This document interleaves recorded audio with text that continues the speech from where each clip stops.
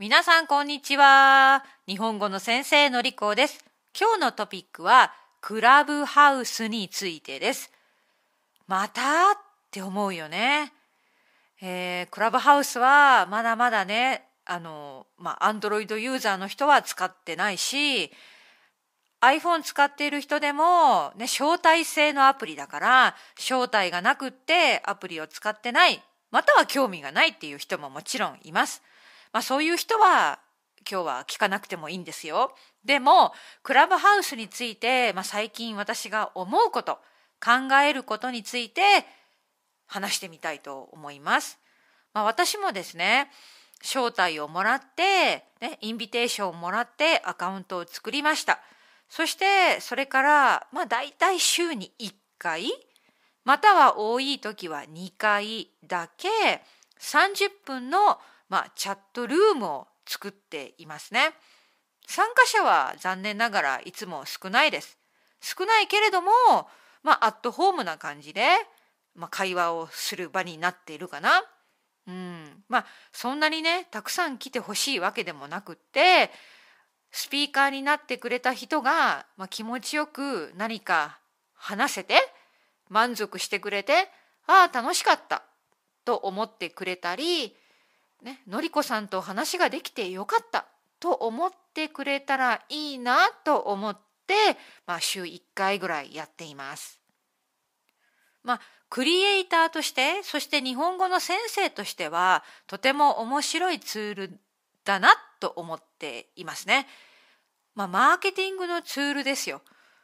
私は、まあ、私のことをクラブハウスを通して知ってくれた人が私のプライベートレッスンを予約してくれたりポッドキャストを聞いてくれたり Instagram をフォローしてくれたりそして Patreon のメンバーになってくれたらいいなと思っています。だからクラブハウスではまあ、来てくれた人を大切にしてのりこさんのファンを増やしたいなんて思ってるんですね。でも私は有名人じゃないしセレブリティでもないし、えー、本当に私のルームに来てくれる人は少ないと思います。でもその人たちと楽しく何か話ができたらなっていうのが、まあ、先生としての気持ちですね。じゃあユーザーとして例えばスペイン語や韓国語を勉強している立場としてクラブハウスのいろいろなルームに参加して思ったことを話してみます。これね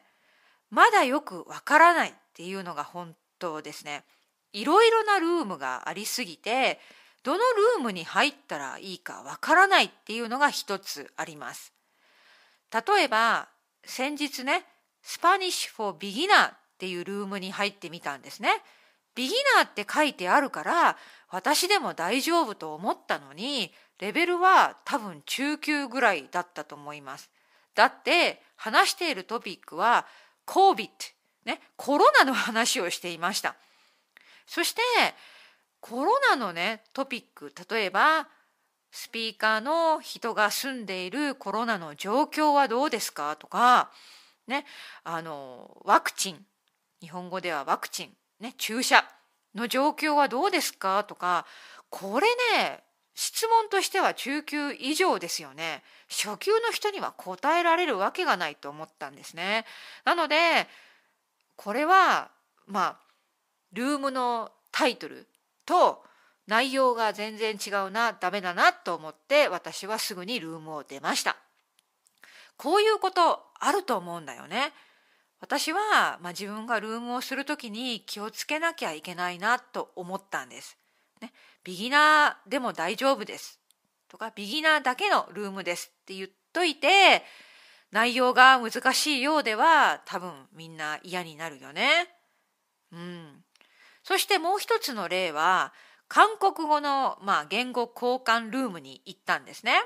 少ないグループでした。私はおとなしく静かに聞いていただけなんですが、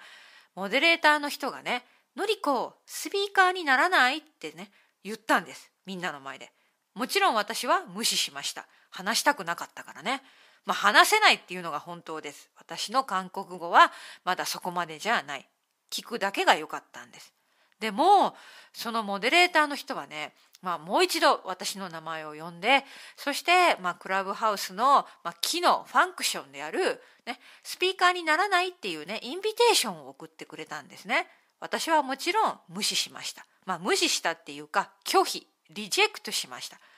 そしたらなんとこのモデレーターの人は、まあ、英語でですけどあこののりこは私のインビテーションリジェクトしたってみんなの前で言っちゃったんですね。私はちょっとムカつきました。そんなこと言うべきじゃないよね。スピーカーになるかならないかは、なりたいかなりたくないかは、その人の自由です。ね。だからそれも、まあ、悪い体験、経験だったけれども、私がルームをするときに気をつけなきゃいけないなって思ったんですね。まあ今の2つは嫌だった経験ちょっとネガティブな経験でした。でもね楽しいルームもありましたよ。例えばポリグロット